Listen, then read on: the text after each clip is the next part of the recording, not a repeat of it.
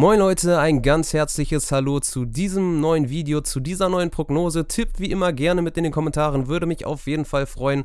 Ihr habt es auf dem Thumbnail bereits gesehen, es sind drei Spiele, es sind sogar zwei aus der zweiten Bundesliga. Nehmt es mir nicht krumm, aber das waren für mich sehr interessante Spiele. Als St. Pauli-Fan auch vielleicht mal äh, dazu gesagt. Leipzig gegen Bayern als Topspiel nehme ich auch einfach mal mit rein. Ich wünsche euch viel Spaß beim Zuschauen. Checkt nach dem Video gerne den Spotify-Link. Da ist ein Song von mir. Vielleicht gefällt er euch, vielleicht auch nicht, aber hört da gerne rein. Ansonsten viel Spaß beim Zuschauen. Los geht's mit Hamburg gegen Düsseldorf. Der HSV ist gefordert. Nach zwei Niederlagen in Serie kommt nun am Freitagabend Fortuna Düsseldorf, der Tabellenführer, in den Volkspark. Der HSV mit einer frühen gefährlichen Standardsituation, das ist Dompe und der macht den unwiderstehlich hinein. Kastenmeier ohne jegliche Chance, sechste Spielminute. Der Volkspark das erste Mal angeheizt. Besser kann man sicherlich nicht starten. Und es wurde auch eine hitzige Partie. Neunte Minute, Jonas Meffert langt hier im Mittelfeld mal hin. Etwas unnötig, aber zeigte mal Düsseldorf, das wird heute kein Spaziergang.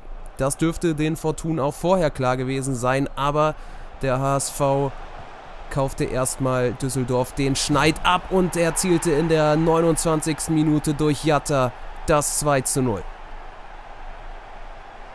Die Fortuna tat sich sehr schwer gegen aber auch endlich mal wieder gute und klare Hamburger. Das hatte man in den letzten 180 Minuten deutlich zu wenig gesehen. Vor der Pause dann aber mal Vermey mit einem Ausrufezeichen, 39. Minute, aber Heuer Fernandes ist auf dem Posten. Es ging mit dem 2 zu 0 in die Pause, das war verdient, das ging in Ordnung und auch Durchgang 2 ging eher an die Gastgeber. Ludovic Reis treibt den Ball im Mittelfeld, hat das Auge für Laszlo Benesch. Muheim zurück auf Dompe, der macht das 3 zu 0. 20 Minuten vor dem Ende und markiert damit die Vorentscheidung im Spitzenspiel. Der HSV schlägt also zum Auftakt in diesen achten Spieltag die Gäste aus Düsseldorf klar mit 3 zu 0 Geht auch in der Höhe in Ordnung. Düsseldorf fand einfach zu selten in sein gewohnt gutes Spiel. Spitzenspiel am Samstagabend in der Fußball-Bundesliga. RB Leipzig empfängt den FC Bayern München. Beide Mannschaften noch unter der Woche im Pokal aktiv gewesen. Da war es für Bayern deutlich einfacher gegen Münster oder zumindest taten sie sich dort deutlich leichter. Ob es einfacher war, sei mal dahingestellt. Münster schlug man da klar. Und Leipzig zitterte sich da über die Ziellinie gegen den SVW Wiesbaden. Die erste gute Möglichkeit haben wir eben gesehen. Davis mit dem Abseitstor knapp aber zurecht zurückgepfiffen. Leipzig brauchte eine Weile, um ins Spiel zu fänden. Openda dann mal, der Ulreich aus kurzer Distanz testet. Der Winkel wohl etwas zu spitz. Dadurch bekommt Ulreich die Chance, reagiert aber auch gut und wehrt den zum Eckstoß. Aus dem nichts resultierte. Es war ein Topspiel mit angezogener Handbremse. Keiner wollte so wirklich einen Fehler machen und so richtig machte auch noch keiner bis dahin einen Fehler. Dann mal Raum, der den Ball gewinnt, tief in der eigenen Hälfte. Kampel hat das Auge für Paulsen. Der legt direkt quer auf Openda, der Platz hat. Und dann zum 1 zu 0 treffen kann. 66. Minute. Weiterhin sehr wenige Tormöglichkeiten. Hier bekommt Openda zu viel Platz. Davis ist zu spät dran. Das wird hier eiskalt bestraft. Dann aber die Bayern mal wieder. Harry Kane testet Blaswig. Macht es sich da eigentlich schwieriger als nötig. Kane, der sich den Ball nochmal hochlegt aber Blaswig muss trotzdem eine gute Parade auspacken. Viertelstunde noch etwa auf der Uhr. Harry Kane im 16er mit Kim im Passspiel. Harry Kane mit dem Rücken zum Tor dreht sich dann und macht das unnachahmlich. 76. Minute der 1 zu 1 Ausgleichstreffer in so einem Spiel dann auch mal die individuelle Klasse eines Harry Kane. Sicher notwendig, um wieder reinzufinden, aber es war auch nicht mehr viel zu spielen und das mal vorweggenommen. Mehr kam dann auch nicht. Es blieb bei diesem 1 zu 1. Bayern hatte zwar noch ein paar kleinere Möglichkeiten in der Schlussphase, konnte aber kein Tor mehr erzielen.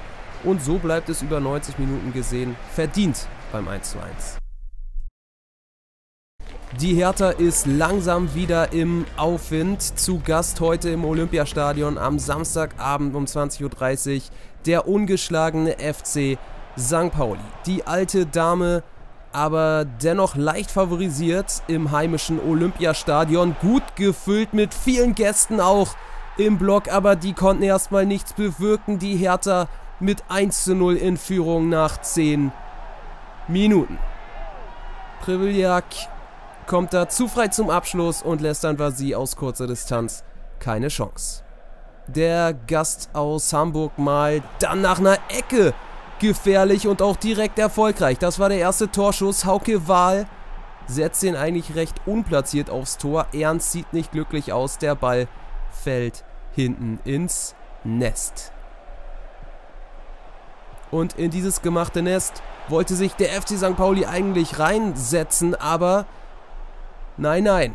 Die Hertha konnte fast postwendend antworten, hatte in der ersten Halbzeit mehr Spielanteile, aber es langte bis dahin dennoch nur zu einem 1 zu 1. Durchgang Nummer 2, die Hertha weiter spielbestimmend, machte wirklich ein gutes Heimspiel. Tabakovic auf Fabian Rehse.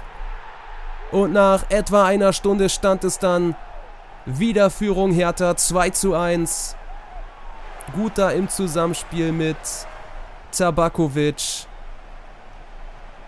Schnell weitergeleitet vom großen Mittelstürmer und Rese aus Spitzenwinkel macht das aber sehr überlegt ins lange Eck. Von St. Pauli kam weitgehend zu wenig und so wurden sie in der 75. Minute auch noch mit dem 3 zu 1 bestraft. Dem Endergebnis Buchalakis macht das 3 zu 1 und entscheidet diese Partie der zweiten Bundesliga fügt damit dem FC St. Pauli die erste Niederlage der Saison zu. Zugegebenermaßen gegen einen sehr starken Gegner aus Berlin, aber die Gäste hatten zu wenig vom Spiel. Jo, das soll es mit dieser Prognose gewesen sein. Ich hoffe, euch gefällt auch diese Mischung aus zweiter und erster Liga. Ich fand eben die beiden Zweitligapartien, die jetzt hier drin waren, auch durchaus interessant und ja, Leipzig gegen Bayern ist ein Spitzenspiel, das habe ich auch mal mit reingenommen. Wenn es euch gefallen hat, lasst gerne einen Daumen nach oben und ein Abo da, würde mich auf jeden Fall freuen. Ansonsten checkt auch die Videobeschreibung aus, der Spotify-Link zu meinem Song.